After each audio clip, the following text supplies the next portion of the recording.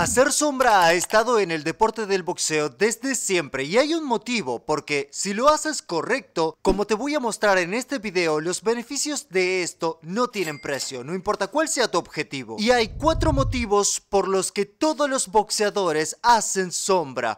Te los contaré, así como al final del video te daré un entrenamiento que puedes hacer donde quiera que estés. Primero, vamos a hablar de la primera razón por la que la gente hace sombra. Piénsalo, si vienes al gym, ¿qué harás primero? Vendarás tus manos y ¿qué harás luego? Bueno, debes hacer un calentamiento completo. Y tercero, deberías saltar la cuerda. Y esto es lo que solía hacer en cada sesión antes de los Juegos Olímpicos y como boxeador profesional. Y luego de la cuerda iba a hacer sombra. Y lo que esto hace es una progresión lenta de tu calentamiento.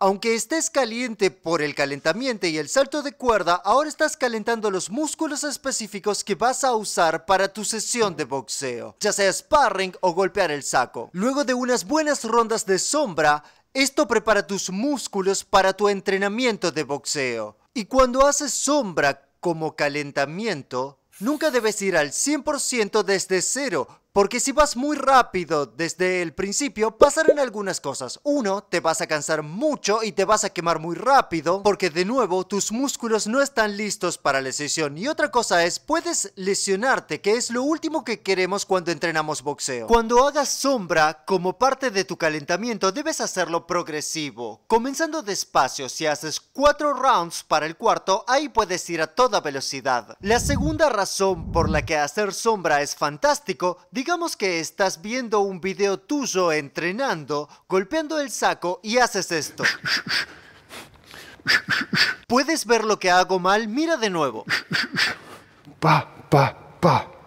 Bajar el puño, este es un error muy común que veo hacer a mucha gente, ya sea en el saco, en sombra, en sparring, en los mitts, dejar caer la mano que no golpea. Si sabes que tienes este mal hábito, Podría ser no extender los brazos, podría ser juntar los pies cuando te mueves atrás, puede ser contener el aire, cualquiera sean tus malos hábitos, puedes usar tus rounds de sombra para terminar con cualquiera de estos hábitos. Y lo harás concentrándote en este mal hábito a lo largo de todo el round. Vamos al número 3. Esta es enorme, para lo que la mayoría de los boxeadores hacen sombra, y he hecho esto todo el tiempo. Si sé que el oponente que enfrentaré se trata de un zurdo alto, o un luchador bajo y fuerte que puede golpear duro con ambas manos, lo que voy a hacer es usar mis rounds de sombra como si luchara contra mi oponente. Visualizaré al tipo enfrente y trabajaré en mis planes de juego durante todo el round de sombra. Si es más alto que yo, tengo que acercar los pies. Entonces, ¿qué haré? Usaré amagues y empujaré hacia adelante para acercar los pies. Si es más bajo que yo como un Mike Tyson que va al frente, probablemente usaría mis golpes rectos y la distancia. Pensar en esto cuando hagas sombra cambiará tu juego y esto es lo que la mayoría de los boxeadores hacen cuando conocen a su oponente. Visualizar a ese tipo enfrente cambiará tu juego. Vamos al número 4 antes del ejercicio al final del video. Es cuando haces sombra así...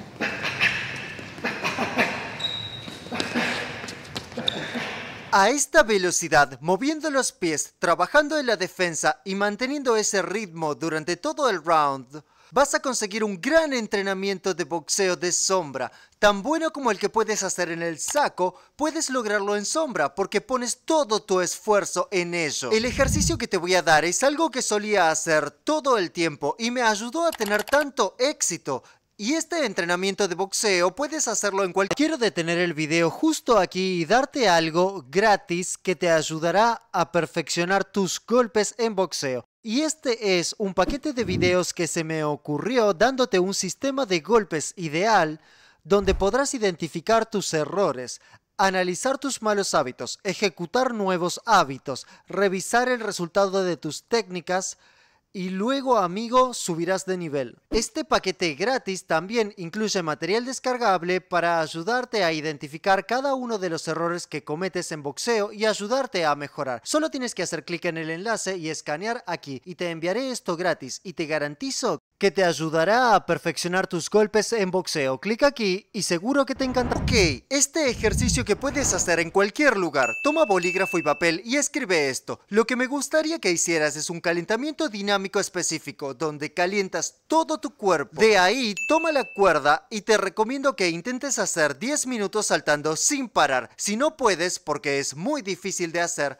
haz esto. Cada vez que pares, ve de nuevo. Cada vez que pares, ve de nuevo. Ahora, si no tienes una cuerda, puedes conseguir una de estas que me gusta llamar la mejor cuerda del mundo. Si escaneas aquí o haces clic en el enlace, yo las diseñé y las hice. Son increíbles. No te enredarás cuando saltes. Y luego, una vez que hayas calentado, es el momento para entrenar. Dependiendo de cuánto tiempo tengas para entrenar, será cuántas rondas hagas. Te recomiendo que hagas 8 rounds de 3 con 30 de descanso. Estos serán tus rounds. Round 1. Todo lo que quiero que trabajes es footwork y golpes rectos. Y como puedes ver aquí, mantengo mis pies separados moviéndome. Ahora estoy en posición para lanzar cualquier golpe. Round 2. Quiero que sigas lanzando golpes rectos, pero quiero una defensa luego de cada golpe. Puedes mover la cabeza, puede ser un parry, un paso atrás con los pies Puedes esquivar, puede ser un roll, no importa. Solo lanza golpes directos y luego trabaja en una defensa luego de cada golpe o combinación. El tercer round es estilo libre, pero quiero que termines cada combinación con un doble jab. Incluso si lanzas un gancho o un 2, ordénate y luego lanza ese doble jab. Si lanzas un jab cross al cuerpo, vamos a terminar con el doble jab. Round número 4 son solo combinaciones, pero vamos a la cabeza y cuerpo, que cada combinación que lances tiene un golpe a la cabeza y luego un golpe al cuerpo. Y cuando lo hagas, asegúrate de llevar las manos a la cara luego de cada golpe. Round número 5 haremos lo contrario del cuarto. Esta vez vamos cuerpo-cabeza, empezando con un golpe al cuerpo y luego vamos a la cabeza. Es importante que cuando comiences con un golpe al cuerpo, lleves las manos a la cabeza porque vas a quedar abierto cuando lo hagas. Round número 6 vamos a trabajar en tips de footwork. Cada combinación que lances o cada golpe, quiero que hagas un paso atrás. El footwork es la mejor defensa, así que vamos a adquirir el hábito lanzas un golpe, retrocede. Combinación, retrocede. Mantén los pies separados para que siempre estés listo si necesitas lanzar un golpe. Round 7, quiero que visualices un oponente más alto con golpes largos y rectos. Quiero que muevas la cabeza, acerques los pies, lances golpes y cuando esté en las cuerdas comienzas a lanzar combinaciones y golpes. Pero tienes que pensar que si no mueves la cabeza te van a golpear, así que es importante que muevas la cabeza y lances amagues. El octavo es el más difícil. Quiero que veas esto y veas si puedes decir lo que hago y luego te voy a decir, podría sorprenderte.